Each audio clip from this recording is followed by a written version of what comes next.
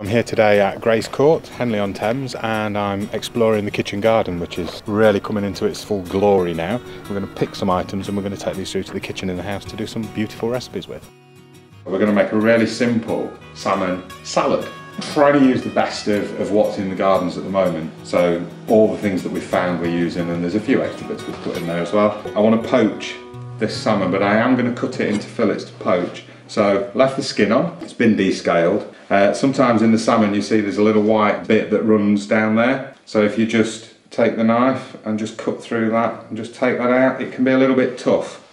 And I'm going to just cut this into nice small steaks. In fact that one, I'll just leave like that.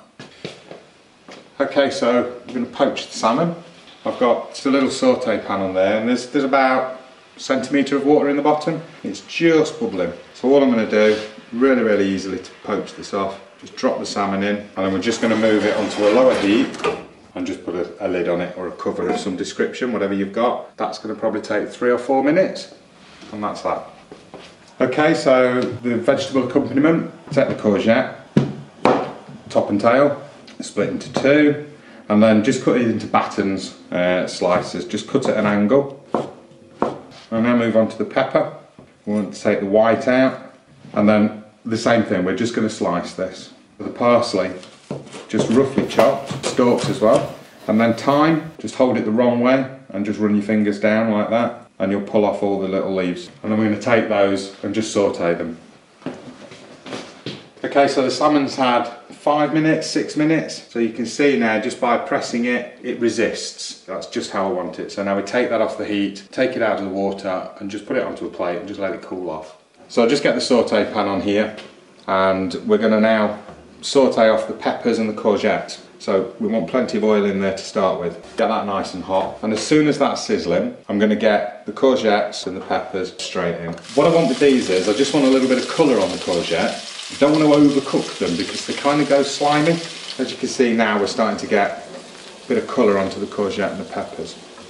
So the next ingredient was the herbs. That's now going to go in with the courgettes and the peppers. And it looks like quite a lot, and it is. We want that flavour in there. Lots of crunch, lots of sweetness, little bits of bitterness, sort of an irony richness that's coming from the parsley, and the fragrance and floral notes of the thyme. So I'm just going to take this and get this ready to cool down. So the mange tout, not going to do anything with them, just as they are. Green beans, and I am just going to top and tail these, just trim them. The next ingredient is broccoli. I don't want to waste this stalk because there's lots of flavour in that. We've got a little potato peeler and just run that very gently over the outside and all that does is just removes any of the really tough tough bits on the outside. So I'm cutting it into pieces round about the same size as the peas and the beans. So that's the peas, the beans and the broccoli ready. They're going to be blanched, so they're going to go straight into a pan of boiling water, around about two to three minutes. As soon as they're done, we're going to get them out and we're going to get them in some cold water to, to stop them from cooking. So next, carrots, just going to peel them, and then we'll do exactly the same as we did with the courgette. So nice and thin pieces like that. And then finally, some potatoes. So I've got some new potatoes. They're going to be boiled whole, about 15 minutes, and then just two or three minutes before they're done, we're going to throw the carrots in the same pan, and that'll just soften them down a little bit. We want to then cool down the carrots and the potatoes, so just a little bowl of cold water or sink with cold water in and just drop them straight into there. So the potatoes, which have cooked and cooled down, we're now going to quarter those.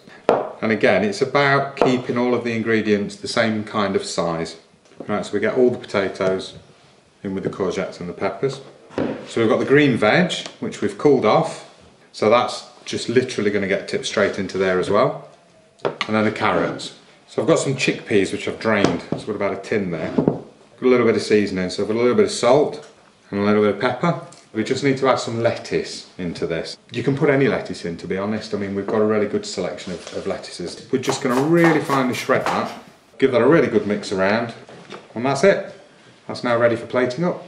I've removed the skin and then just literally break the flakes apart nice and gently. We've just got a really really basic vinaigrette three parts oil, one part vinegar, a little bit of salt and pepper in there, a little tiny bit of lemon juice. And then we're just going to garnish it up with a little bit of nasturtium and then some chive flowers. Okay, so that's it. So that's a poached salmon and summer vegetable salad. with a beautiful vinaigrette dressing.